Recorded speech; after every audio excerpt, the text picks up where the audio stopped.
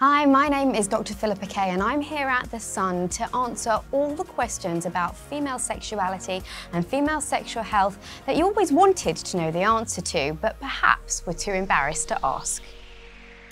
What is the difference between a vagina and a vulva? Now actually lots of people don't know the answer to this one and it's really important that you know what you've got. So I brought along a little model to show some anatomy. Now everything that's on the outside, the hairy fatty lips, the inner lips, the clitoris, everything that's on the outside is the vulva.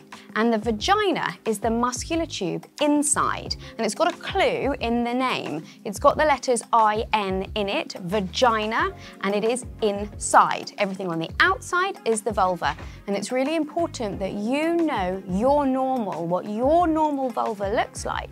And then if anything changes or you have any concerns, you can see your doctor.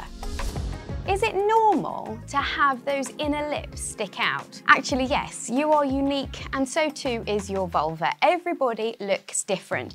You might notice that on the fatty outer lips, where there may be hair, that the inner lips protrude outside of that. You might notice that one side is longer than the other, all of which is normal. You and your vulva are unique.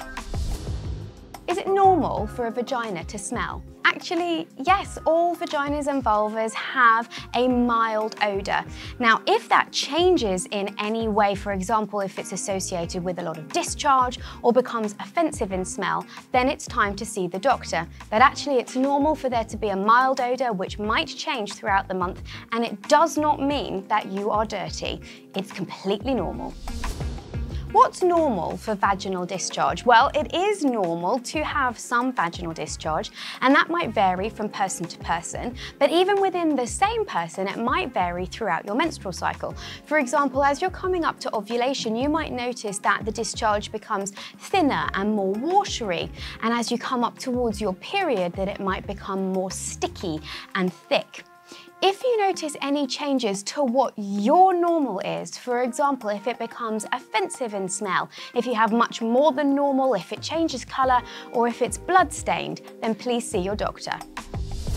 Feel free to share this video and if you have any questions, whether or not you think they are embarrassing or concerns, please do speak to your doctor.